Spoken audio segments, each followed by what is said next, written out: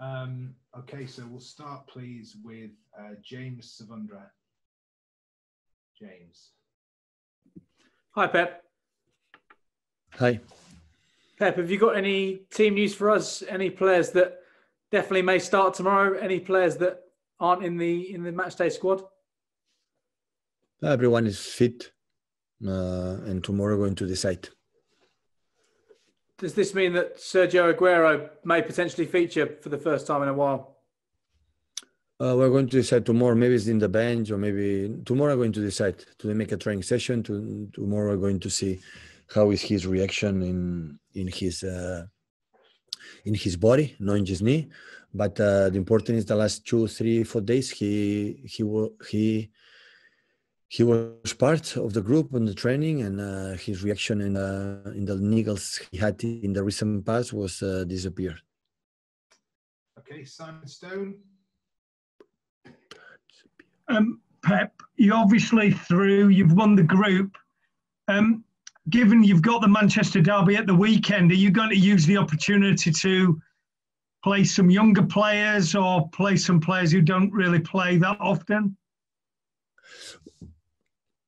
Uh, everyone's played a lot of minutes. So, like I said before, we're going to the last days, we're going to play the game to win the game. And uh, I don't rotate the team. Uh, I try to put uh, all the players in the best condition for any game. Decide the best for for the team for the the team for this specific game. There is not one team for one competition, another one for another one. Uh, it's important the last three days, uh, except one or two players, everybody was involved and uh, and uh, be part of the team. That is good because in this tight schedule, everybody has to be to be ready. But given given what you've already been through, presumably anybody who is even the remotest doubt um, wouldn't play. You wouldn't want to risk somebody for for the weekend. Uh, if someone make a lot, a lot of minutes, some some player has a little bit uh, problems or niggles in some part of the, of course we consider this, but what we have seen uh, today and everybody everybody was fit. Thank you. Thank you, Simon. Um, next, we'll go to Ben Ransom.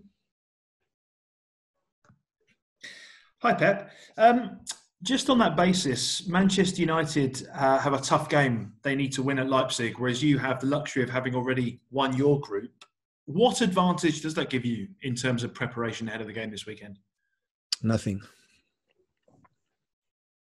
Absolutely nothing. They will be focused today, and when you are focused, when the next game is against a derby game, you continue to be in focus. I speak for my experience. And Fernandinho showed his influence, particularly in that game when he came back away in Porto. Just under a year ago, he signed a contract extension. Will you make any effort to keep him beyond the end of the season, or do you enjoy the last few months you have with him and wish him well? I asked this question uh, the previous press conference. All the time is the same. So I said, so he's part of the team.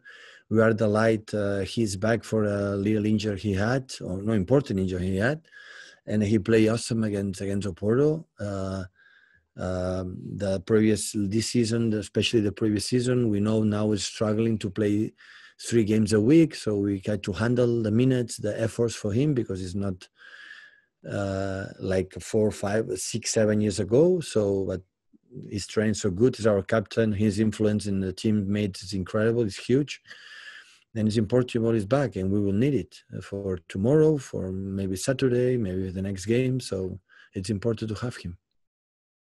Thank you, Ben. Um, next, we go to John Smith. Hi, Pat. Um, the, the under 21s have got their uh, Football League trophy game tonight. I uh, just wondered if that affected the, the young players that might be in your squad to face Marseille and if there's any frustration at the scheduling of the game coming 24 hours before a Champions League game, you kind of have to decide whether they play tonight or tomorrow. Yeah, it's what it is. It's, the schedules are the schedules. So a long time we talk about this. So sometimes suit perfect for the second team, sometimes don't.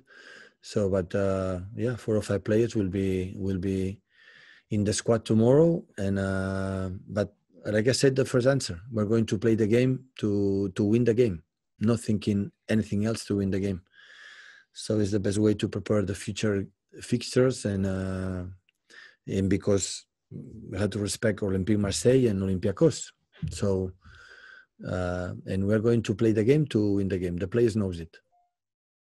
Is there anyone who's going to be playing tonight that won't be playing tomorrow night because they are in the game tonight? I didn't. So the Is there anyone who will be playing again? Yeah. tonight, if there's anyone playing tonight that you would have played tomorrow night. Uh, um, uh, um, tomorrow now we have a game, and four or five players will be in the squad. So tomorrow I'm going to decide the the start eleven, but uh, four or five players, the under twenty three, will be will be with us tomorrow. Okay, John, thank you. Um, Jack, go on. Hiya, Pep. Um, Phil Foden's played the last four Champions League games, and without wanting to guess your team tomorrow, I'm, I'm guessing he might play a start a fifth game on the trot in Europe. What um, specific qualities does he does he give to you in European matches? No, he give the quality in European matches in the Premier League, in the Carabao Cup, in the Cup. I just uh, he played against Madrid last season. He didn't play against Lyon, so he played this season. I don't see he play all the games in Champions League. I think the Champions League is completely different than the other ones. Nope. Every game we play, we try to to put the the team. I don't. I'm not a guy like play all the season with just 11 players. So I don't believe in this. So I like to everybody be involved when they are ready, when they are incredible focus and and they think what is the best for the team. They are going to play more or less. It depends on me, but they're going to play. I don't like to put uh, just 11, 12 players and have eight, nine players without playing games. So, and, and after, as much good you play, more chances you have to play more regularly. As simple as that. How have you um how have you found his season so far? Because obviously there was a, there was a little dip in kind of October. But do you think he's come back stronger afterwards? Uh, the team or which specific player? No, Phil. Sorry. Uh, Phil, no, no. But I think all the season was stop. So uh, since since the first game against Wolves, like play so good and score a goal, and Phil is a young, but he has an, an, an a specific energy and specific quality.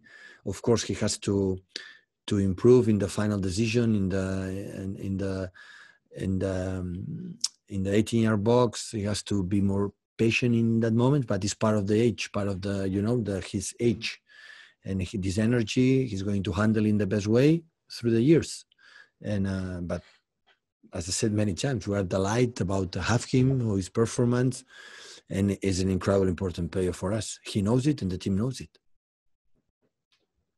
Thank you, Jack. Uh, next, we'll go to James Ducker. Hi, Pat. Um, just um, given the crazy uh, schedule this this season and no preseason, how how much of a boost is it for you going into the derby on Saturday to be able to have options to maybe rest um, or take out one or two? no uh, uh, saying james i don't rest players i don't rest players i don't say these players don't play now because i'm thinking about uh, the other ones so we play we play against Oporto like we played to qualify first in the Champions League, and I put in our players, and they were awesome. We concede one clear chances and, and no more against Oporto. It's incredible success. So I said many times, the team is going to play tomorrow, they can play against United, and the guys that don't play tomorrow maybe don't play against United, or maybe play. I don't know. But tomorrow, my focus is I want to win this game tomorrow. It's not about uh, the election, and and and it's not because we have one more day or less day because in the previous past we had in the previous uh, christmas time in always we had the team would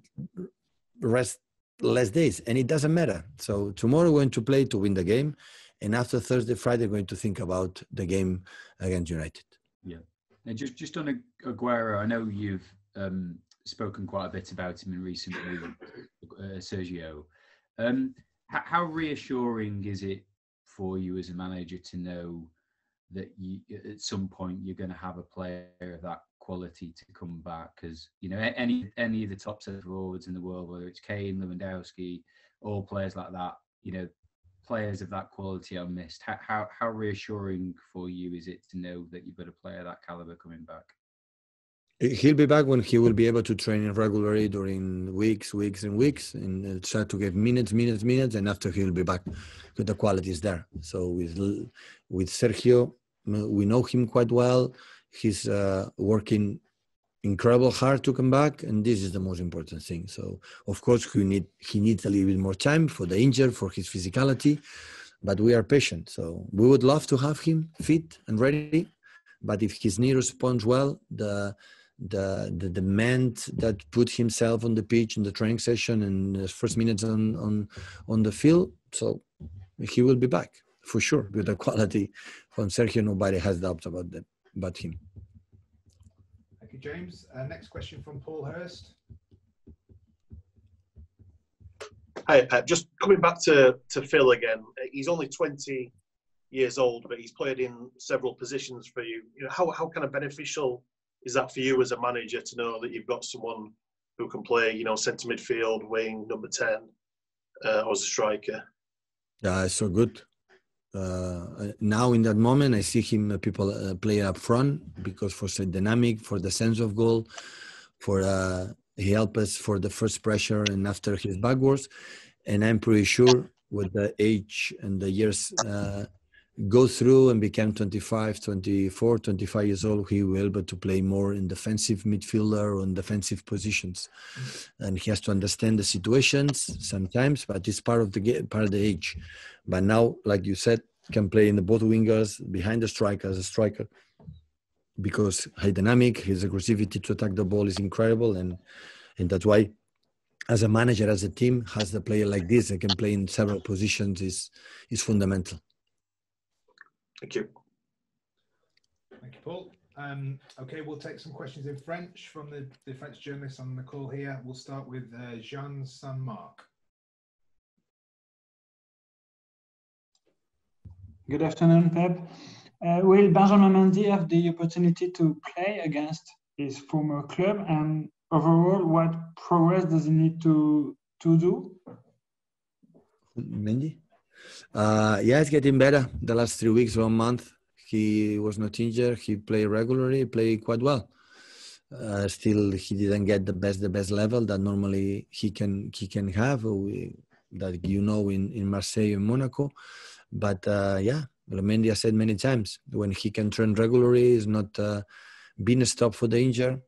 He can he can give us or he can do what uh, what really he is. Okay, thank you. Um, Fabrice Lamperti.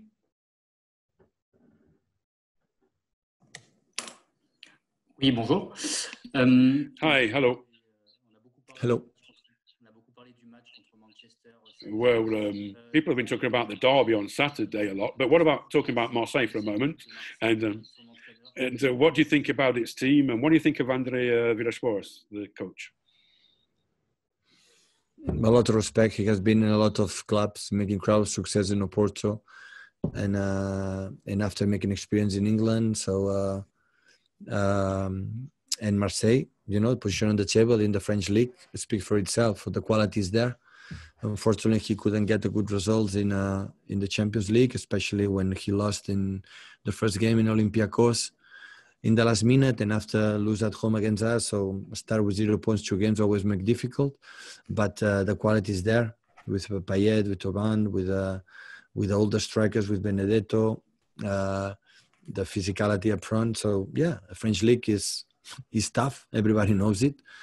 Look what happened Lyon, what happened Lille, and of course PSG, and he's there. So yeah, it will be interesting game. Really important, of course, for them for qualify for the Europa League but for us important too you know for the club for the prestigious for the for many things and uh, yeah for the dynamic to win games and win games. If we can go to simon stone please when you're ready simon. Hi um, uh, zach. Um, i don't know whether you're going to play tomorrow. I would have thought you being here is a sign that you are. What is it about American goalkeepers that is so attractive to Premier League clubs? Um, it's a good question, man. I mean, I'm not the one scouting us, so I wouldn't have the the complete answer. But I would say, I mean, for me, I grew up playing different sports: basketball, baseball, football with my friends. So um, the the athleticism that I had and, and that I've seen in the, the the the, Tim Howards and the Casey Kellers and the Brad Friedels, uh, Brad Guzans, um, the I, I, think we just got that from from other sports and and that really helped. At least it definitely helped me um, with goalkeeping. And and what have you kind of learned from your time at City this season, and and in particular someone like Ederson Yeah, I mean, I've I've learned a lot so far. Um, it's been it's been busy, but uh, just just the details, um, how closely they focus on on on everything regarding playing, um, shot stopping, playing with your feet, um, just your your positioning the entire game and, and in training. Um, so I mean, it's it's been a pleasure to be here. It's been awesome. Um, I feel like I've I've gotten better, um, and it's been um, it's been a fun time so far. Go to Ben Ransom, please, guys. Hi, Zach. Um, I spoke to your opposite number tomorrow night, Steve Mandanda. Obviously, got a lot of experience, French international at Marseille, and he said his one word of advice to you was just to enjoy playing in the Champions League. Has it always been a dream of yours to play in this competition? Absolutely. I mean, I remember watching this as as for as long as I can remember, um, and um, yeah, walking out and, and hearing that uh, the, the, the song is going to be um, it's going to be really special um, for for me and my family. Um, but I'm just excited to get out there and, and play another game um, with this club and, and with the guys um, and, and, playing at Etihad. Um, so I'm really looking forward to that and, and, playing against Steve. I mean, I've been watching him for years and, and he, he's definitely um, been one of my idols as I've uh, as I've grown up. And it's every goalkeeper's aspiration, of course, to be a number one. How close do you feel you are to taking that role in a team? yeah, obviously, I, I um, we all want to play games and, and we're competitive. We want to play as many games as we can. Um, and I feel like, like I said, I, have learned a lot from from the coaching staff and, and from Eddie and, and Scott. And um, I'm, I still feel like there's a lot for me to learn, um, but I feel like I, have improved um, um, in a in a decent way since since I've come here. Um, I, I, know that uh, the beginning of this year for for the first six seven months was pretty rough with injuries so it's been a while since i've played games and trained and then um, coming to such a high caliber caliber um, club has been in the beginning it was a little it was a little tough and took a little time to to get into my swing of things and comfortable and all that stuff but um, now i feel settled and i feel comfortable and i feel um, feel like my confidence back and um, and I'm, I'm ready ready for tomorrow James Salunga, please, guys. Zach, you mentioned Tim Howard, Casey Keller, and Brad Friedel there. Who have been the key influences and, and inspirations for you growing up as a goalkeeper? For me, I mean, I watch all of them, but I mean, Tim Howard. Um, I feel like my my play my the way I move and, and mannerisms are are most similar to him. Um, and um, yeah, when I was growing up, I mean, he was he was pretty much the the man um, for for my time. So Tim was my um, biggest role model. And in terms of tomorrow night's game, Man City already top of the group when it comes to the Champions League. So what are you hoping to, as a side, get out of tomorrow night's game? Yeah, I think this is uh, this is a good challenge for us. Um, we already know that we're through, but um, can we go out there and be professional and, and, get the job done, get a win, and get a shutout at home, um, and, and, get uh, yeah, um, get as many points as we can for for the first round and um, continue our our good play and and um, gain some more confidence going into the uh, Manchester Derby this weekend. Fred Caldera, please, guys. Hi, Zach. Um, it's it's interesting the work that you do off the pitch as well with the voice now and and stimulating athletes to to celebrate diversity, as you as you as you say in the in the Voice Now page. Um, is it is it something that you realize that the new generations of athletes and sportsmen are, are, are trying to to be together on this as well, to have a voice on this kind of social things? I do. Um, we have these massive platforms that we work hard for. Um, and usually in the past, I mean, for me, it was just using it for my own personal gain or career. Um, and this year has really opened up my eyes to, to how much good I can do um, off the field for the, the people who, who, need our help and need a, a helping hand.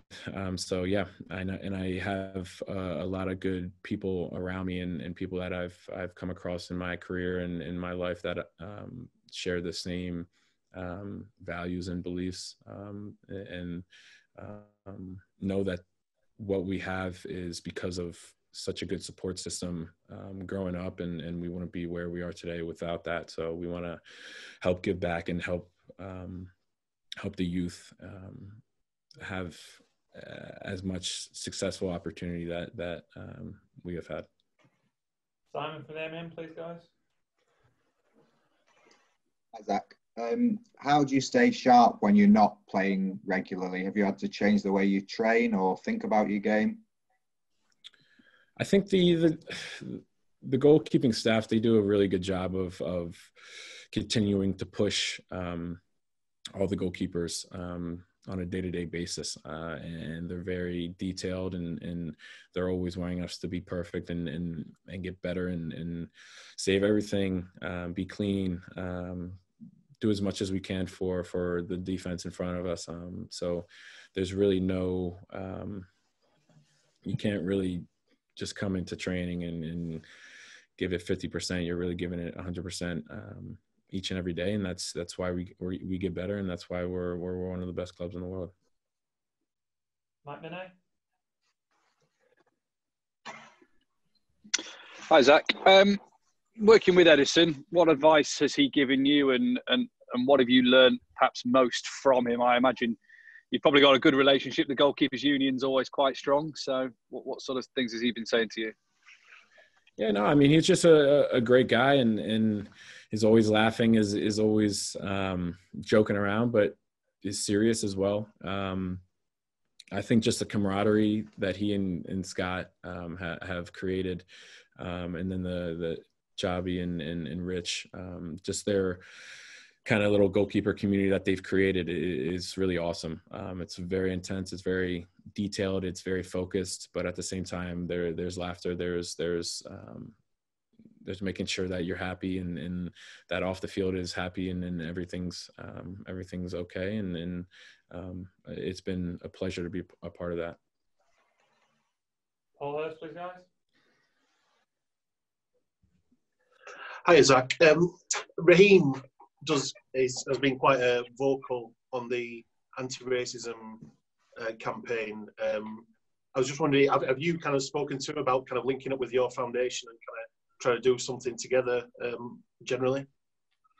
Not yet. Um, so for my foundation, we're we're really just laying down the groundwork and, and getting all the paperwork and all that stuff um, in order. Um, so come 2021, we're really going to hit the ground running, um, and and we have we have a lot of plans coming.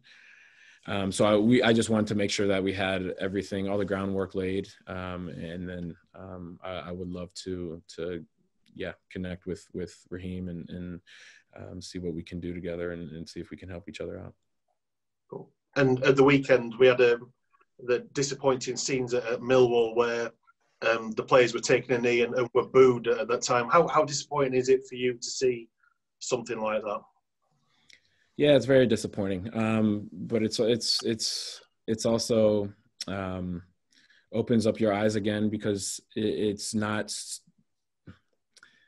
it's not obviously not everybody fully understands the situation um, and that's that's okay we're gonna we can't get to we can't teach everybody but we can at least um, talk to people. We can have these discussions and, and try and and show them um, this is why why we're fighting, why we're why we're taking a knee, um, why we're trying to give back to to the disadvantaged communities um, that have been oppressed, um, and, and, that's all you can do is trying to educate those those people in this world that just haven't been um, haven't experienced th- these type of things that that many people have experienced and and the reasons for why we're fighting martin Butler. yeah hi zach just just on the same subject how many sort of sportsmen have, have been in touch with you since you sort of you know started this this foundation yeah, a lot. I mean, we have a community of about 100 athletes that that are all um, really bought into to going forward with us and and, and um, want to help give back to the communities around them, whether if it's the community that they're they're playing in or or from where they grew up in. Um, we have a we have a great group so far, and then we only want to continue to grow that group, and and um, yeah, that's the goal. Is that is that mainly in America or is all over the world? Or? Um, I mean, most of my connects are American or play in America. Um, so that's where we're definitely focusing on. Uh, but now that I'm over here and overseas and, and I'm meeting more people and, and um, I'm learning the cultures over here, I definitely want to um, get it to where it's kind of worldwide. Thanks. Let's that. Thanks, Alex. Right, uh, Zach, as a sort of follow up to that, really, uh, how is it is it a frustration at all that that you've obviously got so much to say and and so, so much you know that you want to sort of push as an agenda um, and yet you sort of denied the profile as a sort of second keeper at the moment? Uh, what do you mean? Sorry. Well you, you're clearly passionate about about what you were just talking to martin and, and paul about um, but as second keeper you get few platforms to to actually express those views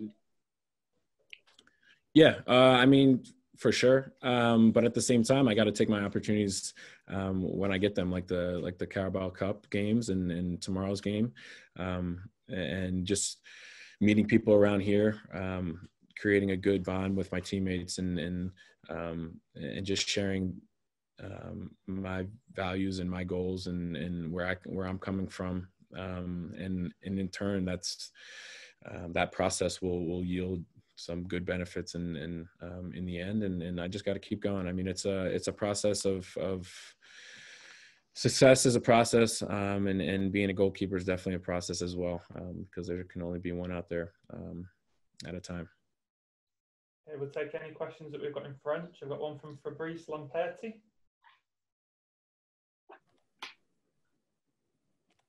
Fabrice can you hear us? Oui bonjour Zach. Hi Zach Hi, Zach, can you hear me, please? Yep. Can you hear me? Yeah, excellent. Hi, Zach. Now, uh, you spoke about uh, Mandanda a little bit earlier at the beginning of the press conference. And um, can you tell us why you admire him? You know, what sort of like, what are his qualities? Um, you know, what are his, his abilities that you, you really um, admire? Thank you.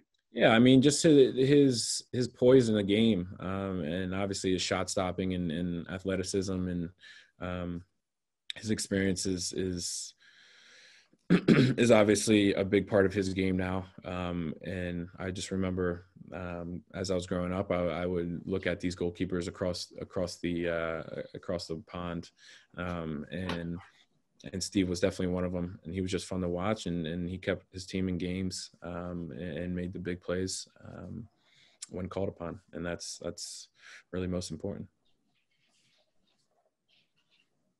Thank you, guys. Any more questions? Brilliant. Thank you, Zach. Cool. Thanks, guys.